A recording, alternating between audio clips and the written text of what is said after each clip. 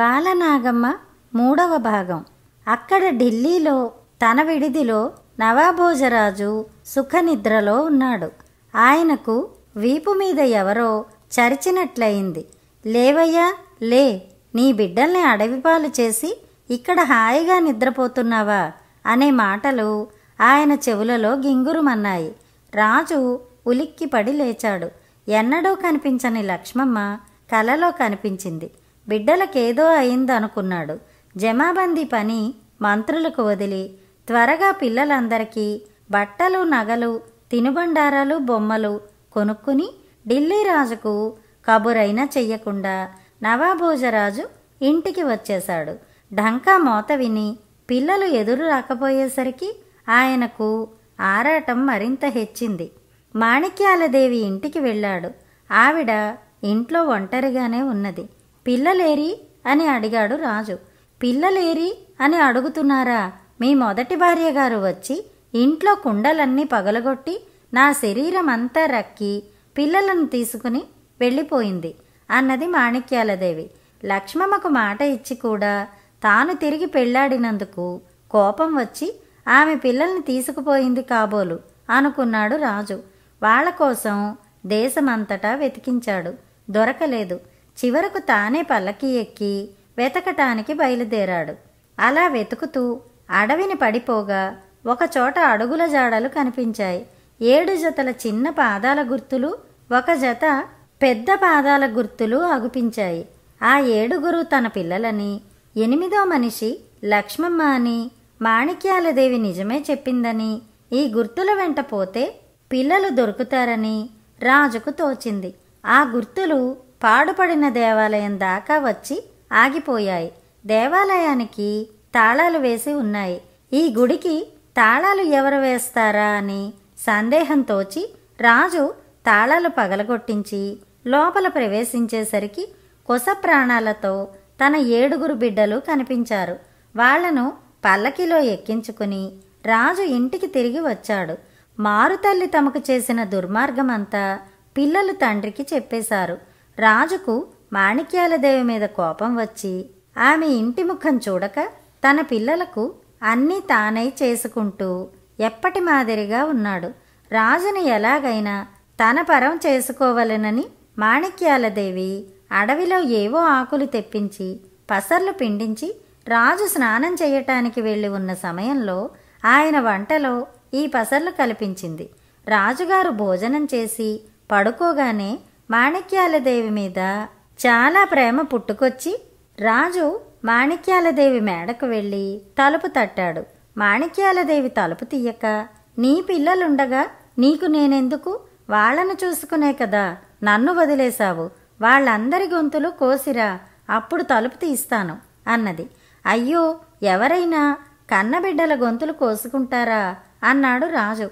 అయితే వాళ్ళను నట్టడివిలో విడిచేసిరా నీకు వాళ్ళన్నా ఉండాలి నేనన్నా ఉండాలి అన్నది మాణిక్యాలదేవి.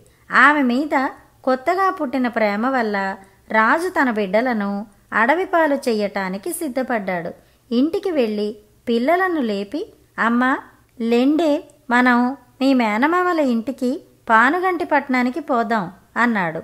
మనకి మేనమామలెవరున్నారు? ఎప్పుడూ వినలేదే అన్నారు పిల్లలు. పదేళ్ళుగా వాళ్ళకి మనకి మాటలు లేవు. మీ అమ్మ పోయింది కనుక మనం ఒకసారి వెళ్ళి వాళ్ళని చూసొస్తే బాగుంటుంది అన్నాడు రాజు. పిల్లలు సరేనన్నారు రాజు పిల్లల్ని అడవిలో విడిచిపెడుతున్నాడని తెలిసి సంతోషంతో మాణిక్యాలదేవి పిల్లలు ఏడుగురికి విషం పెట్టిన ఏడు రొట్టెలు తయారు చేసింది. రాజుకు వేరే అన్నం మూట కట్టింది. పిల్లల రొట్టెలను రాజును తినవద్దన్నది. తింటే తనకు రొట్టె తక్కువైందని ఎవరో ఒకరు నిష్కారణంగా ఏడుస్తారు.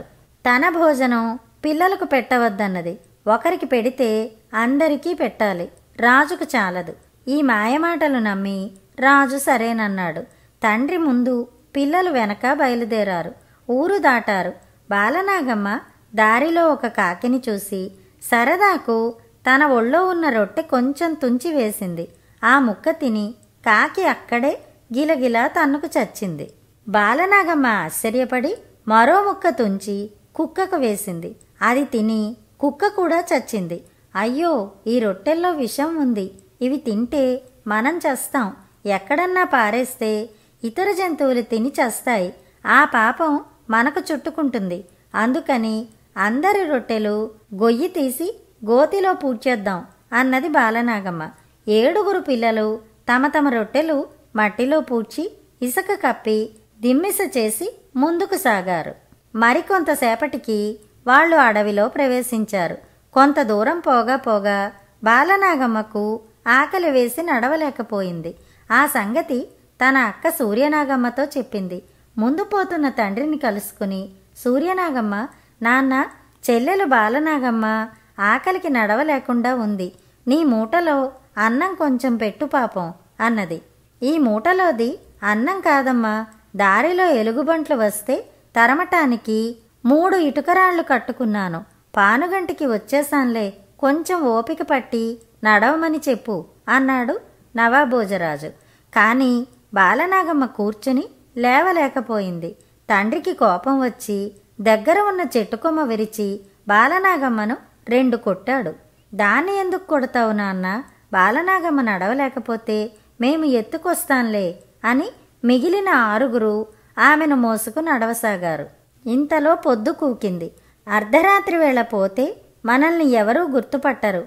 అంతా నిద్రపోతూ ఉంటారు. అందుకని ఈ రాత్రి అడవిలోనే పడుకుని తెల్లవారి మీ మేనమామల ఇంటికి పోదాం అన్నాడు రాజు. అందరూ పడుకున్నారు. తండ్రిని మధ్యలో పెట్టుకుని పిల్లలు అటు ఇటు పడుకున్నారు. ఆకలితో అర్ధరాత్రి దాకా ఎవరికీ నిద్ర పట్టలేదు పిల్లలంతా నిద్రపోగానే రాజు లేచి తన స్థానంలో ఒక బూరగ దుంగను పెట్టి దానికి ఒక తలపాగా చుట్టి మీద ఒక గుడ్డ కప్పి తిరిగి తన పట్టణానికి బయలుదేరాడు. కొంత దూరం వచ్చాక తూర్పు తెల్లవారసాగింది. ఒక చెరువు దగ్గర మొహం కడుక్కుని తాను తెచ్చుకున్న అన్నం తినటానికి మూట విప్పి చూసేసరికి అందులో మూడు ఇటుకరాళ్ళే ఉన్నాయి. ఎంత పాపకర్ముణ్ణి! పిల్లలకైనా పెట్టకపోతేనే అనుకుంటూ రాజు ఇంటికి తిరిగిపోయి పిల్లలను మరిచి మాణిక్యాలదేవితో సుఖాలలో ఓలలాడసాగాడు. ఇక్కడ పిల్లలు తెల్లవారుతూనే లేచారు. తండ్రిని పిలిచారు. పలకలేదు తట్టి లేపారు. తండ్రికి బదులు బూరుగా దొంగ ఉండటం చూశారు. తమ తండ్రి చచ్చి దొంగ అయిపోయినాడనుకుని ఏడిచారు. తర్వాత ఆ దొంగను పట్టుకెళ్ళి దహనం చేసి ఒక చెరువులో అందరూ స్నానాలు చేశారు. అందరికీ ఆకళ్ళు మండిపోతున్నాయి. ఎటు చూసినా అరణ్యం పాపం వాళ్ళకి దారి తెలియదు. ఈ సమయానికే పానుగంటి రామవద్దిరాజు ఆ అడవికి వేటకు వచ్చాడు. ఆయన పరివారానికి ఈ ఏడుగురు పిల్లలు దొరికారు. అయ్యో పాపం ఎవరో పసివాళ్ళు.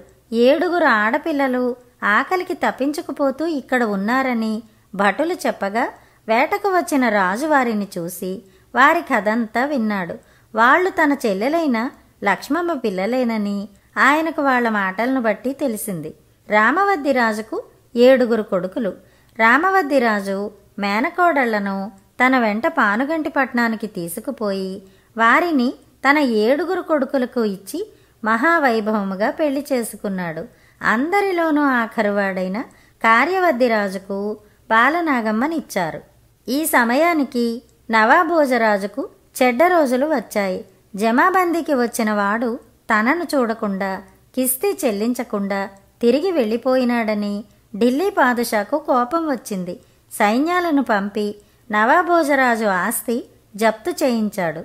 ఆయనను ప్రభుత్వం నుంచి తీసివేశాడు.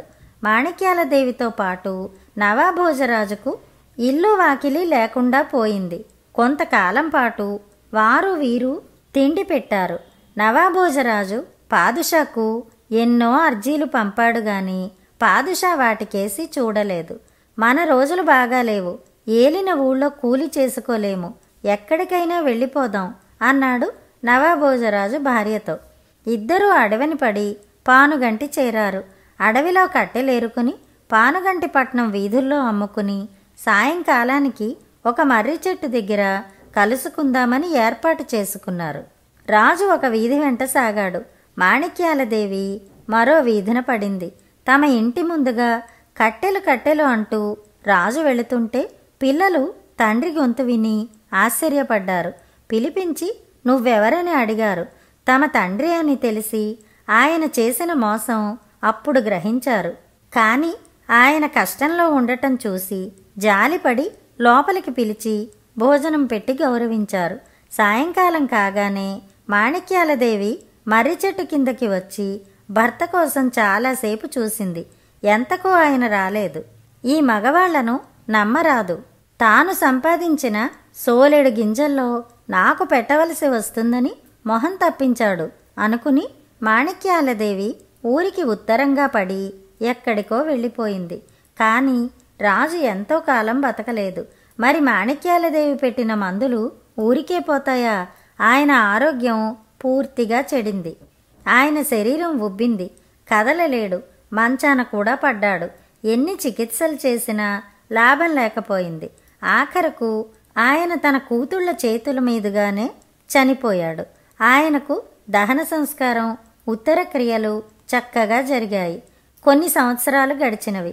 బాలనాగమ్మ ఆమె ఆరుగురు అక్కలు భర్తలతో సంసారం చేస్తూ హాయిగా కాలం వెళ్ళబుచ్చుతున్నారు. బాలనాగమ్మ అక్కలకు ఇంకా సంతానం కలగలేదు. కానీ బాలనాగమ్మకు గర్భచిహ్నాలు కనిపించినవి. ఈ వార్త ఆమె అక్కలకే కాదు బావలకు భర్త కార్యవద్దిరాజుకు ఆనందం కలిగించింది. పానుగంటి పట్టణం చక్కగా అలంకరించి ఉత్సవాలు చేశారు. బీదలకు అన్నదానం చేశారు. ఇంతలో సూర్యవద్దిరాజు అతని ఆరుగురు తమ్ములు ఏదో అవసరమైన పని మీద గండికోట వెళ్ళవలసి వచ్చింది. ఏడుగురు ముస్తాబైనారు. పల్లకీలు వచ్చి వాకిట సిద్ధంగా ఉన్నాయి.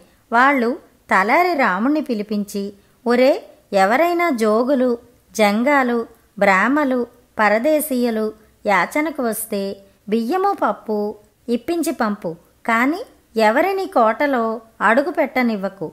ఎవరైనా లోపల అడుగు పెడితే నీ బుర్ర తీయిస్తాను జాగ్రత్త అని చెప్పారు. బాలనాగమ్మ పెనిమిటి అయిన కార్యవద్దిరాజు గర్భిణిగా ఉన్న తన భార్యతో మన తలవాకిట ఏడు గిరులు గీశాను.